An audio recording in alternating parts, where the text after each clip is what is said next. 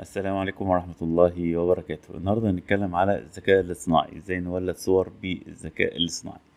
آه بس إحنا فاتحين برنامج ال Paint ليه؟ برنامج ال Paint زي ما أنتوا عارفين برنامج قديم من شغال عليه من أيام ويندوز 98 ف لكن تم احيائه بإضافة الذكاء الاصطناعي. دي الفكرة كلها إن البرامج كلها تبدأ تعتمد على الذكاء الاصطناعي. أول حاجة هنا بنلاقيها موضوع ال layer موضوع ال layer إن أنت تقدر تضيف أكتر من layer بحيث إن أنت تقدر تشتغل عليهم. ما كانتش موجودة في الإصدارات بتاعت زمان. فممكن تيجي تخفي ال layer ديت مثلا تخليها شفافة. طيب ممكن تيجي هنا بقى تقول له أنا عايز أضيف صورة من file وتبدأ تختار صورة معينة. وليكن مثلا الصورة دي.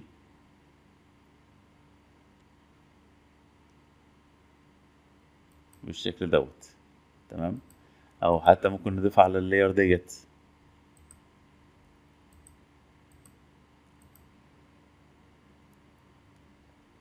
طيب عايزين نضيف لها خلفية معينة. ممكن نضيف لها خلفية إزاي؟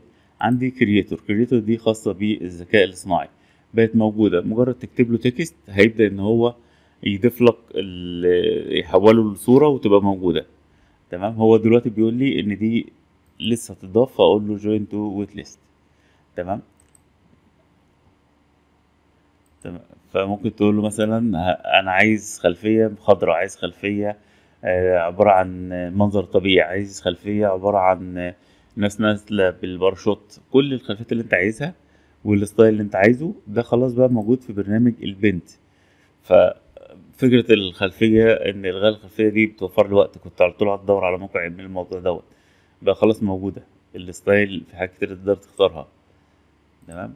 أنا كده بعت إن أنا عايز الخاصية تبقى موجودة فهتبقى تضاف هو مديني خمسين نقطة لكن مش عارف خمسين نقطة دي هتتجدد كل يوم ولا كل أسبوع ولا كل قد إيه.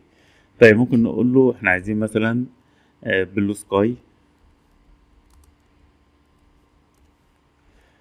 طيب الستايل اللي أنت عايزه تبدأ بقى تختار الستايل اللي أنت عايزه المناسب للحاجة اللي أنت عايزها.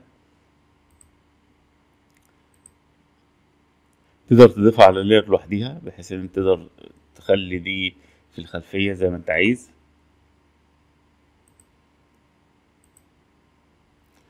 ف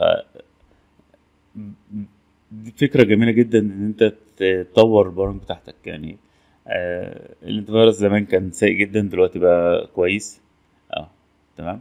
كل اللي عليك بقى عشان تبدأ تظهر تغير بالشكل دوت. وهكذا. تقدر بقى تختار صور كتيرة وفي الآخر تقول له اعمل لي create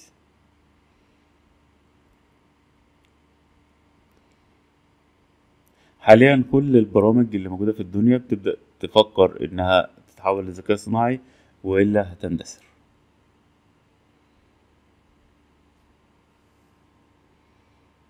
بالشكل دوت.